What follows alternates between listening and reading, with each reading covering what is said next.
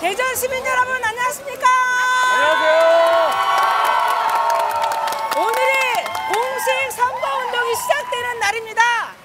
네네. 저기에 저 나 20대 또 왔지롱 한 분 잠깐 와주실래요? 나오세요, 오세요, 오세요, 오세요. 잠깐 한번 와주실래요? 앞으로 좀 오세요, 앞으로. 20대, 20대신데 네, 카메라 주세요, 카메라.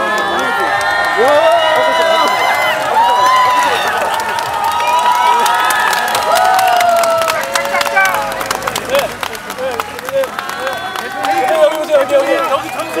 여기 여기 여기 여기 봐요 여기 봐. 또 왔지롱. 그때 봤는데. 맞는데 홍대에서 맞는데 청기서 봤는데.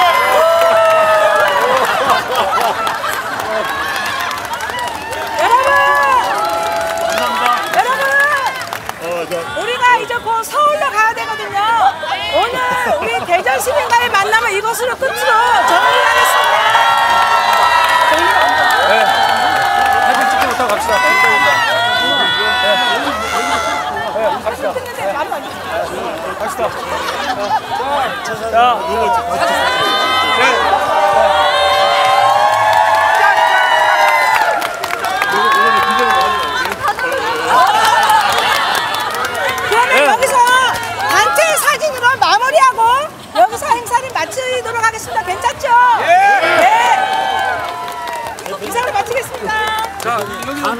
내려가시 오늘 공식 선거 운동일인데요. 법상 제가 연설을 할 수가 없습니다. 마이크도 쓸 수가 없고 스피커를 쓸 수가 없습니다. 양해해 주시고 제가 거리 연설을 하면 그 자체로 문제가 됩니다. 양해를 미리 해주시고요. 오늘 제가 할 수 있는 것은 기자분들과의 문답을 할 수가 있습니다. 그래서 그 여기 계신 시민 여러분 제가 짧게 소감을 말씀드리고 여기 오신 기자분들의 질문에 질문에 한해서 제가 답을 할 수 있습니다. 제가 오늘부터 공식 선거 운동이 시작됐습니다. 그래서 지금 그 부산부터 시작 새벽에 제가 오늘 새벽에 부산에 도착해서 그 다음에 대구 지금 대전을 왔습니다. 대전에서 좀 뒤에 보시면 어, 저희 그 조국혁신당 버스가 뒤에 있을 것입니다. 여기 보이시죠? 예. 조 버스 여기서부터 버스를 타고 조국혁신당의 후보와 당원들이 전국으로 퍼져 나갈 것입니다. 여기가 중심이 되어서 퍼져 나갈 것이고요. 어, 내일부터 전, 저 버스가 전국을 돌면서 홍보 활동을 할 생각입니다. 마- 만약에 이제 거리에서 저 뒤에 있는 버스를 보시면 많이 응원을 좀 해주십시오. 그 대전 경우에 있어서 뭐 너무 잘 아시겠습니다만은 우리나라 전체의 중심 아니겠습니까? 뭐 호남도 있고 영남도 있습니다만 가장 중심이 대전 이 충청도 지역인데 이 가장 중심을 가- 쥐고 있는 추- 대전시 충청도 분들이 마음을 좀 딱 저희한테 주시면 좋겠습니다. 그리고 대전 경우에 있어서는 다른 것보다 여러 가지 뭐 중심적인 도시지만 과학 기술의 중심지기도 합니다. 네, 뭐 카이스트도 있고 많이 이제 과학 중심의 그 학교, 그다음에 산업이 모여 있는데 너무 잘 아시겠습니다만은 우리나라 과학 기술이 없으면 대한민국이 지속적 성장이 불가능합니다.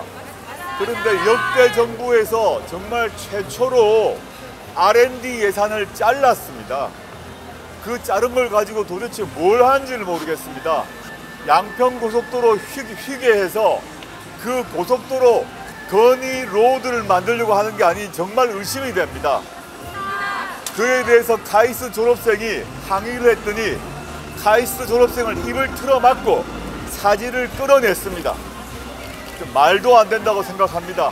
이런 점을 다른 대- 다른 곳도 아니고 대전 시민 여러분들이 이건 안 된다라는 점을 4월 10일에 투표를 통해서 경고를 내려 주십시오.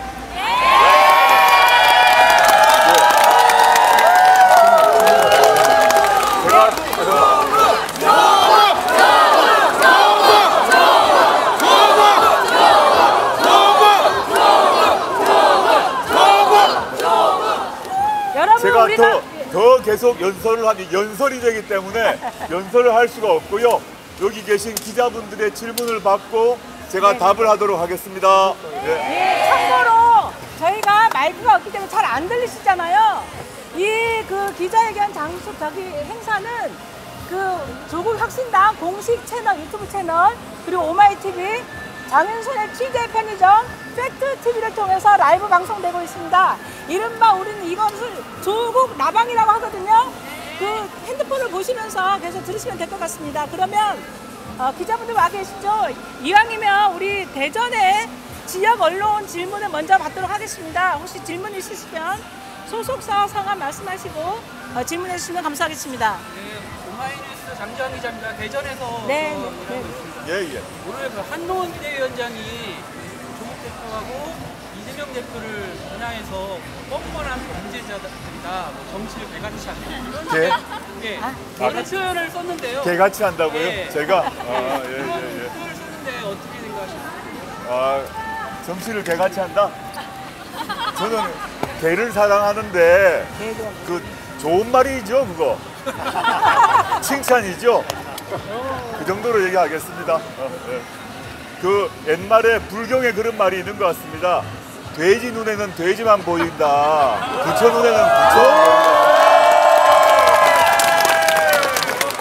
부처. 네. 뭐 사- 상세한 반박을 하기가 싫습니다. 예. 예, 또 다른 분 질문 있을까요? 질문 없으실까요? 네, 이제 하시죠. 소- 밝혀주시고, 네, 씨. 소속 언론. 양말하고 하고요. 얼굴이 나오면 안 되는데. 그 더불어민주당의 좀 일부 지지층에서 그 조국 혁신당의 어떤 그 비례, 일부 비례 의원들을 대상으로 어떤 그 내로남불 프레임을 지금 이렇게 이야기를 하고 있는 것 같습니다. 그래서 뭔가 재산에 대한 문제 뭐 그런 이야기들을 많이 하면서 내로남불에 대한 이야기들을 하고 있는데 이에 대해서 대표님께서 혹시 말씀해 주고 싶으신 게 있으신가요? 저는 저를 포함해서 저희 비례대표 후보 모두에게 시민들은 비판할 권리가 있다고 생각합니다. 근데 그 권리에 대해서 저희는 답을 하고 있고 아까 말씀하셨던 뭐 재산 문제 같은 경우 있었는데 추측컨대 저희 이제 박은정 후보 및 그 부부의 재산 문제를 얘기한 것 같습니다. 이미 박은정 후보가 본인의 페이스북에 상세한 소명을 했습니다. 박은정 후보 및 그 남편은 윤석열 정권 하에서 대표적으로 핍박받는 반윤 검사였습니다. 반윤 검사한테 전관 예우가 주어진다는 얘기 매우 이해하기가 힘듭니다. 그래서 상세한 것은 그 박은정 검사의 박은정 후보의 페이스북 해명을 한번 보시면 좋겠습니다. 네. 네, 그러면 다른 질문 또 없으시면 행사 마쳐도 될까요? 너무 서운한가요? 네, 한 번만 더 질문. 네, 네, 네, 그렇게. 이제 그 국민의힘에서 뭐 갑작스럽진 않은데 세종시 국회 완전 이전 얘기를 했잖아요. 네, 네. 이 충청 지역은 그 국회뿐만 아니라 청와대까지 완전 이전해서 완전한 그 행정구조를 만들어야 된다는 얘기가 있거든요. 그 대표님 생각에 대해서 한번 얘기해 주시죠. 그건 제가 그 국회에서 제가 어떤 다른 기자회견을 했을 때 어, 서울에 있는 기자분들이 질문해서 제가 바로 답을 했습니다. 근데 대전에 온 만큼 다시 답을 드리자면 갑작스럽게 한동훈 비대위원장이 국회를 뭐 대전으로 아, 세종으로 세종으로 옮기자고 얘기를 했더군요. 전 찬성합니다. 찬성하는데 그런데 제대로 지방 분권을 하려면 지금 말씀하신 것처럼 국회를 옮기는 것 말고 그 노무현 대통령 시절에 시도하다가 이상한 논리, 즉 관습헌법 때문에 수도를 옮기면 안 된다 그래가지고 지금 세종에 일부만 와 있지 않습니까? 빨리 국민의힘이 입장을 밝혀라. 수도를 행정 수도를 옮기는 것에 동의하는지 안 하는지를 밝혀야 되고 그 경우 당연히 포함되는 것이 뭐냐 용산 대통령실을 옮겨야죠. 용산 대통령실부터 옮겨라 하는 얘기를 거죠.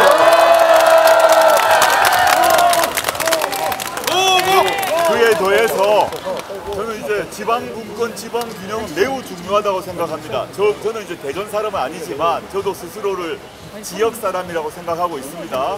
물론 제가 부산 사투리 쓰니까 어떤 안- 앵커는 저보고 일본말 쓴다고 하는데 뭐 이해가 잘 안 되는데 지역이 살아야 서울도 산다고 생각합니다. 그러면 지금 국회 옮기는 거 말고 또 청와대 그 대통령 비서실 옮기는 거 말고 저는 개인적 소신으로 우리나라의 사법기관, 사정기관도 옮겨야 한다고 생각합니다. 네, 그런데 대법원 경우 대법원에 일반 시민들이 갈 일- 필이 필요가 없습니다. 그럼 대법원이 예를 들자면 대법원이 광주에 가지 않을 이유가 있고 없고 헌법재판소가 전주에 가지 않을 이유가 없고 대검찰청이 그런데 대구에 가지 않을 이유가 없습니다. 이런 식으로 그 한동훈 비대위원장이 말하는 국회 이전 무조건 찬성입니다. 그러나 제대로 된 지방 분권을 하려면 대통령실은 세종으로 그 다음에 각 사법 행정기관도 각 주요 지역으로 옮기면 그게 진짜 지방 분권이죠.